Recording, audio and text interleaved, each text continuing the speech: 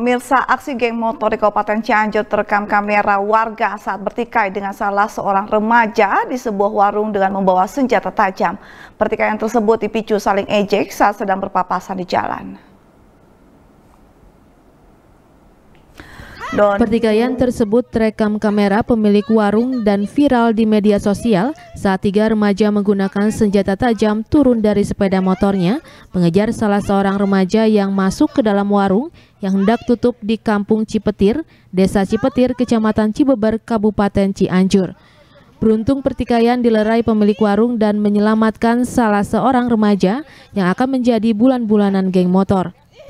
Menurut pemilik warung, kejadian tersebut bermula saat adanya ejekan dengan melontarkan kata-kata hinaan saat berpapasan di jalan dengan menggunakan sepeda motor. Tiga remaja yang membawa senjata tajam langsung mengejar sambil mengeluarkan sebilah celurit, beruntung tidak terjadi penganiayaan. Hmm. Cuman yang masuk ke dalam itu emang bikin ulah. Dia sama temennya satu motor. Dia bawa senjata juga terus dia uh, ngata-ngatain monyet.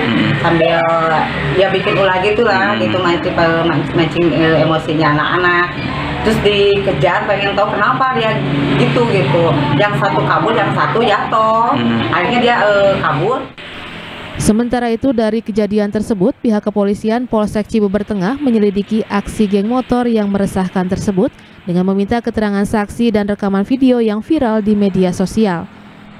Sementara kami belum dapat laporan secara resmi, hanya terkait beredarnya video pengancaman, eh, kami telah tugaskan Pak Kanit Reskrim, kemudian Babin Kamtipmas untuk meneliti Eh, kebenaran dari video tersebut.